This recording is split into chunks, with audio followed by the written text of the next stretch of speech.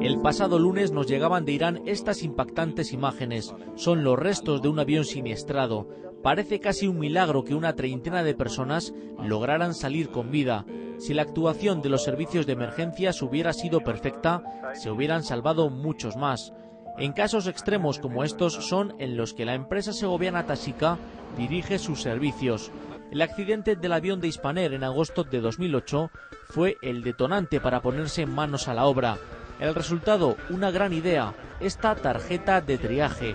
Atender, clasificar y descartar diferentes víctimas es cuestión de segundos. Una acertada prioridad en la evacuación de los heridos puede salvar muchas vidas. Número 3571.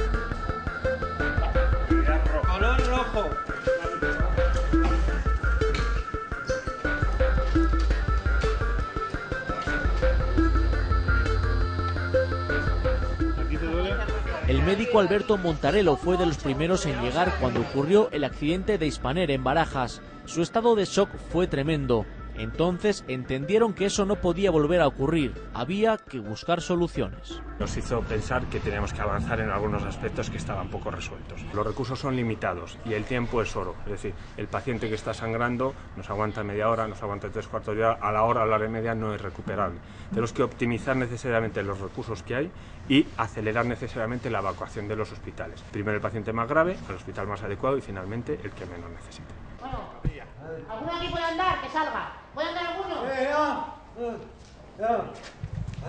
Asistimos ahora a un simulacro, para ellos un ejercicio docente. No se puede perder tiempo, tampoco atender a personas sin apenas lesiones. Este señor lo que tiene es un problema respiratorio, está respirando más rápido de lo habitual, entonces por uno de, los, de la- uno de los puntos de la secuencia de triaje es que si respira de más de 30 respiraciones por minuto, este señor es triado de color rojo. Tiene una gravedad importante que no sabemos cuál porque no podemos identificar, pero tiene que ser atendido inmediatamente. ¿Puede respirar? Este paciente presenta un golpe en la cabeza, por lo cual no, no, no, tiene, no, tiene una cos- no, no está consciente, con lo cual se tría de color rojo también con una gravedad importante. Este caso, el que está triando mi compañero, es que ha visto que ha estado tomando en el pulso radial y tiene menos y, y no lo tiene presente, con lo cual nosotros sabemos que tiene una tensión menos de 8, con lo cual es una persona que está hipotenso y no sabemos causa, con lo cual también sería un paciente grave. De- la tarjeta sería de color rojo. No te muevas, ¿vale? ¿No- ¿Está sangrando o no, no? Vale. Esta chica está consciente, orientada, no, en principio no, no detallamos que tenga ningún signo eh, importante alterado y lo que único que evidenciamos es que tiene una fractura en la pierna, con lo cual se tira de color amarillo. Es de menos prioridad que los otros pacientes que son de color rojo. Y este paciente este paciente no respira, con lo cual en un primer triaje, en un incidente de múltiples víctimas, al ser un adulto, se triaría como color negro, sería un éxito. Este paciente es- estaría fallecido. La prioridad de evacuación la damos por colores.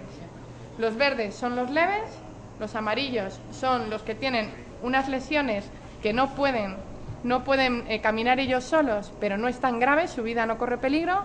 Los rojos es que están graves el color azul lo contemplamos más que nada porque son pacientes que tienen unas lesiones incompatibles con la vida, es decir, que son preexitus, que van a fallecer, pero están vivos. ¿Bien? Y el color negro, como es el caso de esta víctima, es que está fallecido. Deben determinar a quién atender primero por cuestiones de supervivencia. En el desarrollo de este sistema operativo son pioneros a nivel europeo. Con esta tarjeta nosotros somos novedosos, tenemos una serie de ventajas comparativas con respecto a, a igual a otras empresas, es en el nuestro conocimiento sobre, sobre lo que estamos formando. Evidentemente el triaje no es algo que nos hayamos inventado nosotros, ni siquiera los instrumentos para realizarlo, en los cuales se apoyan. Nosotros lo que hemos hecho ha sido mejorar. La tarjeta asegura su resistencia en situaciones límite. Está fabricada con materiales que soportan líquidos, grasas o compuestos químicos.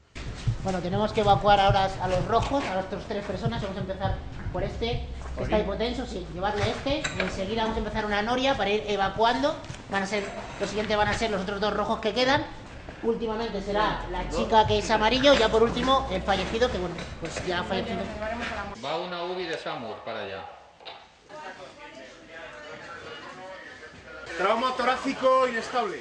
Con un entrenamiento mínimo, el trabajo de los sanitarios de emergencias puede ser más rápido y más eficaz en circunstancias reales. Ellos tienen todos los roles. Tú pregúntale la pregunta. ¿No puedes andar? Ay, hijo mío, no puedo, no puedo. ¿Mayor de 30? Sí. Vale, nada. La intención no es tanto de un despliegue de medios y de imagen como que cada participante consiga asimilar, aprender y entrenar las funciones específicas que va a tener que desarrollar, esta vez en circunstancias reales, en un futuro próximo. Durante varios meses, cinco empleados de Tasica